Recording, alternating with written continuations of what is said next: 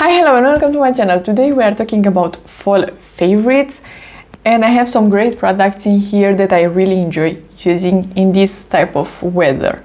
I know that it's been fall for like two months, but only now in Bucharest we can feel the fall and it's been a bit colder and in a way I'm kind of excited. I have my fall nails, so this could be a first favorite. They are orange matte nails. I really like them and next time I'm doing for sure something black and um, I'm excited about that as well. So let's start with these. First of all, black clothes I really, really like. They are just classic and nice. And then I want to just mention something a bit random, but my glasses, I purchased them, I think in September, and they are prescription glasses. I do have myopia, I think it's that pronounced in English, but yeah, this is me. I don't usually wear my glasses because they are reflecting, of course, light, and you in general need to see my makeup. But these are from uh, Furla and I really, really love them. Previously, I had ones from Gant and they were purple, but these are a lot more classic in my opinion and they are matching my face pretty well, I would say. So that's the first favorite. Let's get into some makeup. So I discovered pretty recently something that I am so excited for and this is very dramatic but it's a combo of primer and foundation these two are just incredible products and this foundation is the main main uh, character in here because I said that I'm so disappointed in foundations in general, that they are not that great and that my NYX concealer is always be better than all foundations if I'm using the NYX concealer as a foundation and then I fell in love with this one. So I don't think, I still don't think I'm gonna test a lot more foundations because in general they are pretty disappointing. But this one, this is my favorite. I am excited about it. And at the same time, I purchased this, the Porefessional from um, Benefit, the light version. And I was thinking that this is a bit hydrating. It is not, it is a pore filling primer, but it is lovely. I can use this one and then a glowy foundation on even this one if I'm using a very hydrated base underneath this one and it will make all foundations wear better. So this is great.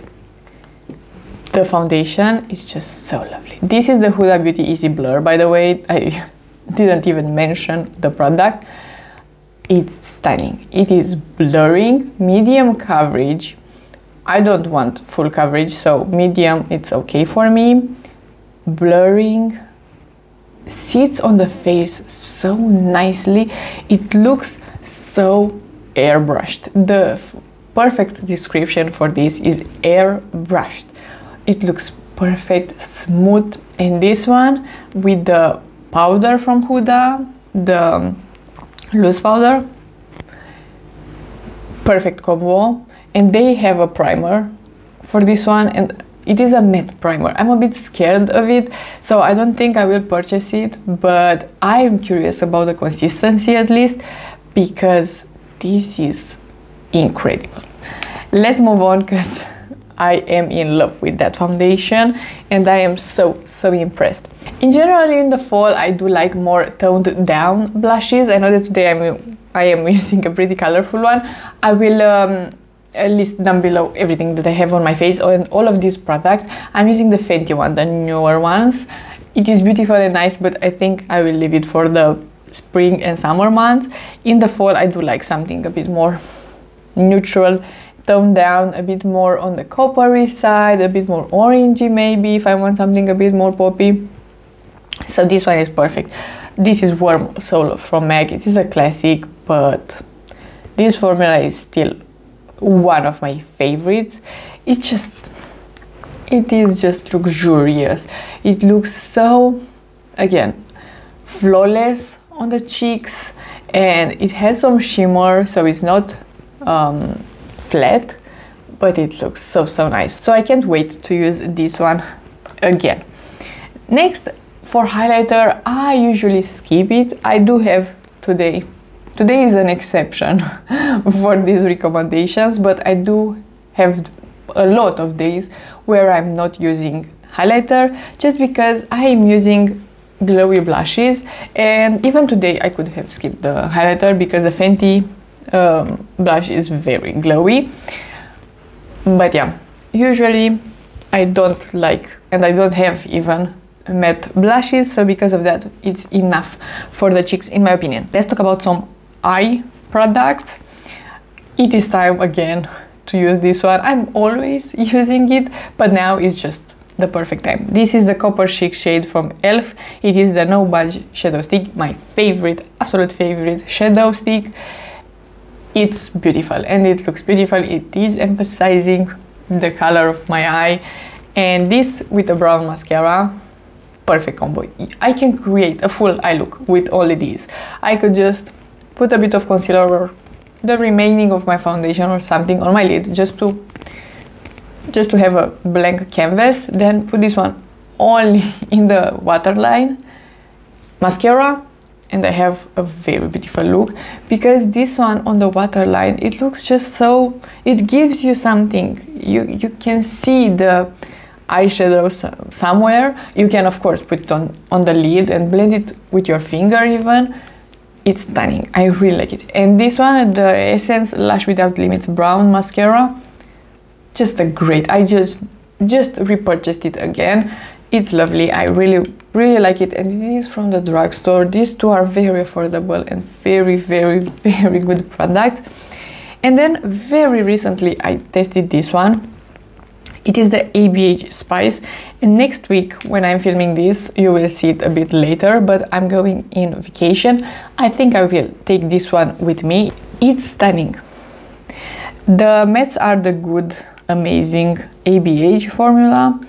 We have some mattes with some shimmers in here. They are just really nice. And then the middle row is just shimmers that are sparkly, flaky, those type of shimmers that I really really like because I can put them a bit in my crease and I will have a full lid of just beautiful shimmer and I really really like that look. And again with a brown mascara it will be a dream. So I'm gonna take probably these three products in vacation with me and I cannot wait. And then for lips I have two products to recommend. I purchased this one. This is the Makeup Forever color pencil. I have in here the shade Anywhere Caffeine. I don't know why it took me so long to test this one and purchase it, but I used it almost every day for a bit. So I forced myself to stop it and use something else, something from the project pen as well. But this is amazing. I really like it. It is like a stiffer lip pencil, but it's not hard on the lips. It's not scratchy or something. It's just perfect. And they did release the version for the lips. And I am debating a bit maybe purchasing that as well because they are really good product. But that one seems a bit too uh, glidey, too creamy. But because this is so lovely, maybe I will purchase that one as well. The only problem is that they don't have very light shades. I would love for them to release very, very nude shades for my skin tone. But this Anywhere Caffeine is just the perfect shade. It is a bit darker, but it's not a dark brown, at least not on me. And then I was thinking what lipstick to recommend because usually I do change my lipstick every day. Of course, I'm using the Charlotte Tilbury Pillow Talk most days, at least I'm trying. Uh, that one is in the project pen. But then I decided on this because it is the perfect shade for fall and this formula is lovely. And this combo, 11 out of 10. This is Haus Labs, the PhD Hybrid Lip Glaze. I have the shade Cocoa in here. when I purchased this one, I was a bit scared because I wanted like a sheer uh, cocoa brown shade and this is exactly that. I was scared when you are seeing it in here it seems like a pretty dark brown but on the lips this is the perfect brown because I discovered that I really don't like very dark lips. I have just one exception, the NYX uh, matte lipstick. That one, I don't know why. It looks great on me. I really like it. But except it, usually I really like nude shades. But this, this is the perfect in-between. I absolutely love it. It is just stunning. Then I want to recommend something for skincare and something for perfume. Just one for each category. I purchased this one recently because I um, I did a facial and it was great. And then I decided to purchase a mask for my skin just to refresh it from time to time. And I decided on this one. This is the Youth to the People Super Clay Purify and Clear Power Mask. This is with niacinamide, kombucha and BHA.